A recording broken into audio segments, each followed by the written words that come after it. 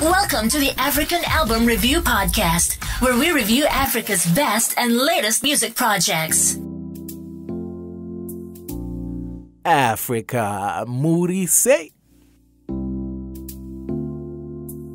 My name is MJ Wemoto and I welcome you to the African Music Industry Podcast. Uh, this time around, I've got an album review for you.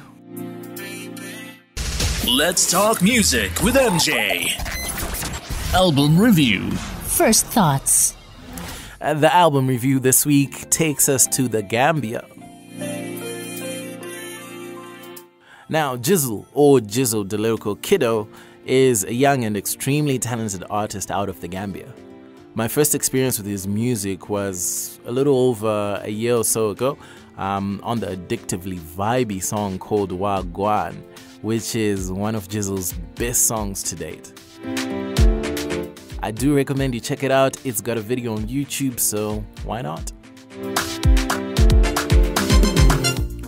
Uh, today I'm reviewing his 2018 EP called The Next Big Thing.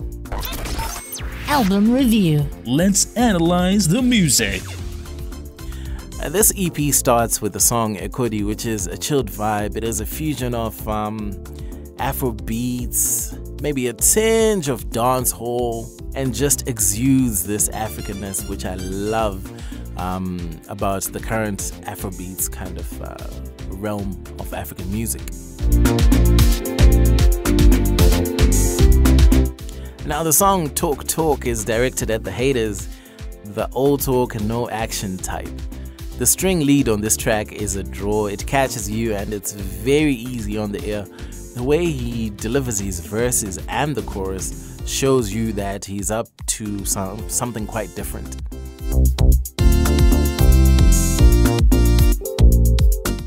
On the song Jalika featuring Hussein, which is the most danceable track you will find on this EP, is all about a beautiful girl called Jalika who is said to have a body that could stop traffic, among many other things.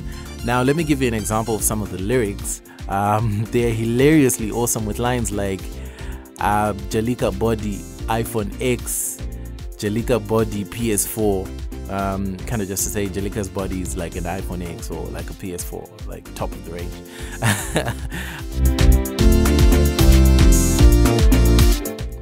and it's awesome stuff from the young man, just uh, the play on words and things, items.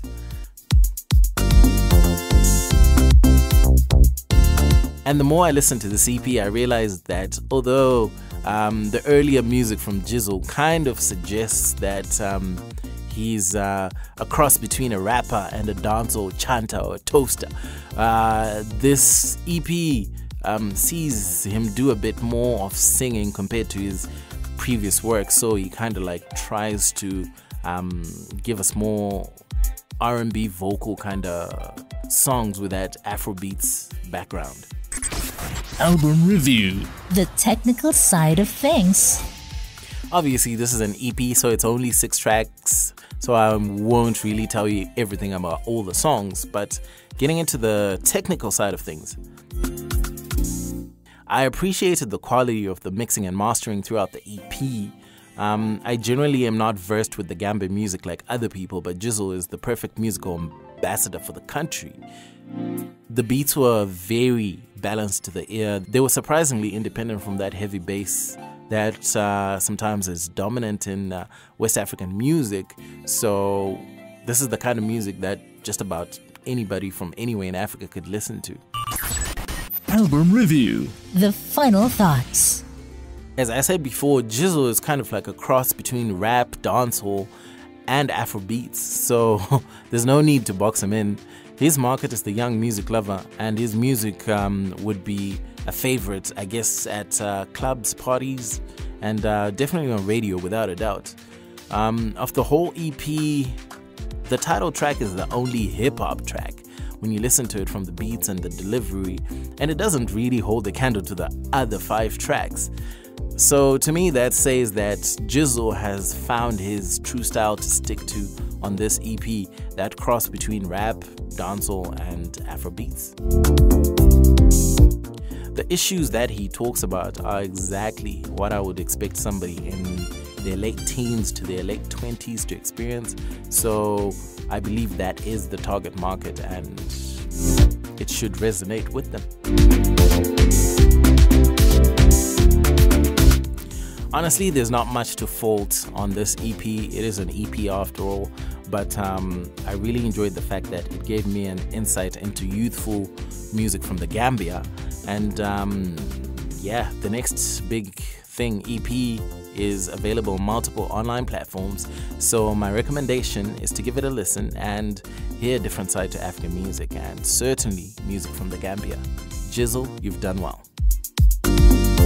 And that's it from me, people. My name is MJ Wemoto. This was an album review on the African Music Industry Podcast. I'll catch you on the next show. Moto Moto Music, the best place to listen to podcasts about African music online.